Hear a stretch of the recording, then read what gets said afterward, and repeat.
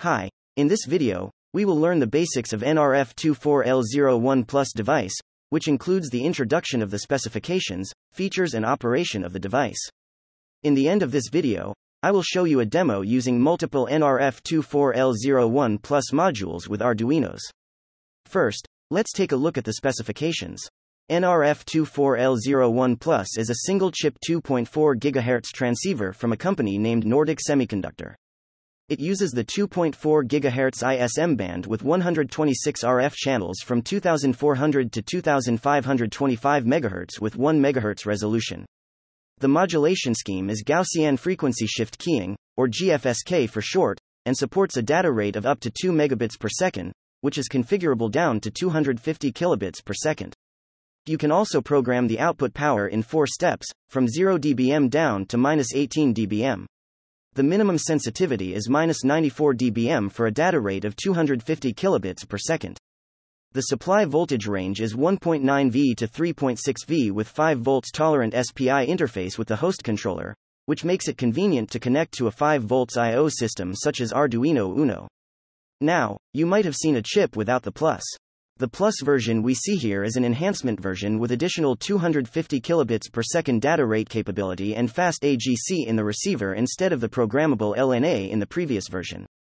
This is the internal structure of this device. The SPI interface shown in the right side communicates with the host for data transfer.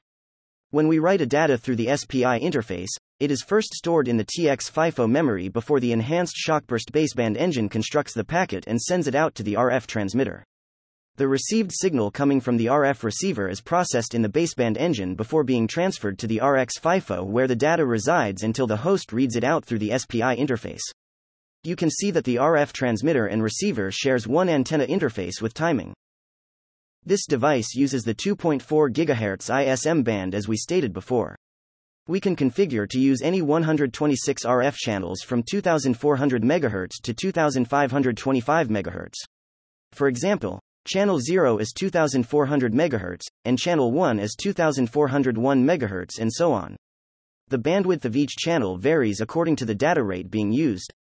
For 2 megabits per second transmission, the bandwidth is larger than the channel spacing of 1 MHz. So, you should make sure the channel spacing should be at least 2 MHz in your network when 2 megabits per second is being used. This device also has a capability of communicating with multiple nodes, which is called multiceiver. It is a feature used in the receiver that listens up to six transmitters simultaneously, each with unique addresses in a single frequency channel. These logical channels are called data pipes. Each transmitter has one unique address, and the receiver denoted as PRX in this diagram is configured with each address that matches that of the transmitter. As you can see in this data addressing example, any data pipe can have a 5 byte address. The only rule for setting the address of each data pipe is all least significant bytes should have a unique value. The first data pipe, data pipe 0, can have a unique value for all 5 byte address. The most significant 4 bytes of other 5 pipes share their value. So it doesn't matter which value you choose for these 4 most significant bytes for all the data pipes as long as the LSB differs. The modulation used for communication in NRF24L01 Plus is GFSK. It is a filtered version of frequency shift keying, which modulates the signal to several discrete frequencies. The Gaussian filter is applied to the data pulses to make the transition smoother. By applying this filter, the sideband power is reduced to reduce the interference with neighboring channels at the cost of increased intersymbol interference. The packet structure is shown in this page. It is the role of the enhanced shockburst baseband engine to construct and deconstruct the packet. This enhanced shockburst baseband engine also takes care of sending ACK to the transmitter or retransmitting when the signal is lost. Connecting to the Arduino is very simple. This is a connection example to the Arduino Uno, only 7 wires are necessary. The VCC is connected to 3.3 volts from the Arduino 3.3 V pin, and the SPI interface can be connected accordingly. CE, or chip enable, and CNS, the chip select for the SPI, can be connected to any digital output pins from the Arduino. In my case, I connected these pins to pin number 9 and 10 respectively. Now, let me show you the demo for the basic communication of two NRF24L01 Plus modules. Both transmitter and receiver is using Arduino Nano as a host processor. The transmitter is periodically sending a Boolean data to the receiver, and the LED connected to the receiver blinks according to the signal transmitted from the transmitter. These are the modules used for the demo. This one is the NRF24L01 Plus module with a PCB antenna used for the transmitter.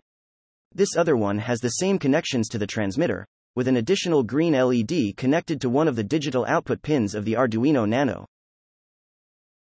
These are the codes used for the transmitter and the receiver. The codes are very similar with slight differences. First, we need to install the library. Type NRF24L01 and from the result install this RF24 library. When it is done, include the headers, and create an RF24 object with two arguments indicating the pin numbers for CE and CSN pins respectively. The address is 5 bytes as shown here. In the setup section, we need to initialize the radio object, open a writing or reading pipe depending whether it is a transmitter or a receiver. You can also set the RF channel which is not shown here so by default it is using channel 0 at 2400 MHz. Power level and data rates can also be configured here. In the loop, the transmitter sends out a simple Boolean periodically, and the receiver waits for a valid signal from the transmitter, and applies it to the green LED connected to pin number 6. I will leave the links to the codes in the comment below. After loading the code to each module, you can see the green LED blinking.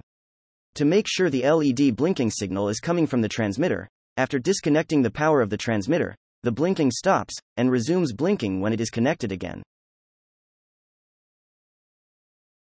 Multiceiver is shown in this demo. We have one additional transmitter with Arduino Uno, sending the same data as before. And in the receiver, the red LED is connected to indicate the data reception for this new transmitter. Let's take a look at the code first. Transmitter 1 and 2 have the same structure except for the address used. The address for transmitter 1 is 12345678890 and the address for the second transmitter is 12345678892, the third element of the array. The receiver uses the same address as the transmitters, but I intentionally modified the third byte from 56 to 55, just to show you that only the least significant byte matters. The rest of the code is similar to the code used for the receiver in the previous demo. The code is also provided in the link below. This is the setup for this multiceiver demo. This is the NRF24L01 plus PALNA module which uses the third element of the array as the address. And this module is the other transmitter using the first element of the array as the address. This is the receiver with two LEDs for each transmitter. You can see both the red and green LED blinking. Now, let me disconnect the power of the transmitter one by one to make sure the blinking signal is coming from each transmitter. As soon as I disconnected the first transmitter, the red LED stops blinking, and then continues to blink after connecting. The green LED shows the same result when second transmitter is disconnected, and connected again.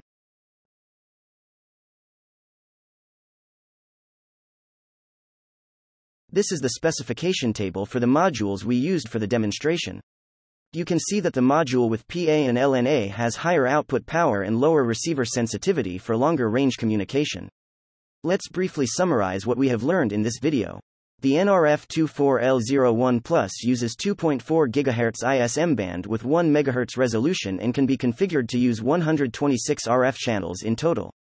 It uses GFSK modulation which is also used in Bluetooth devices.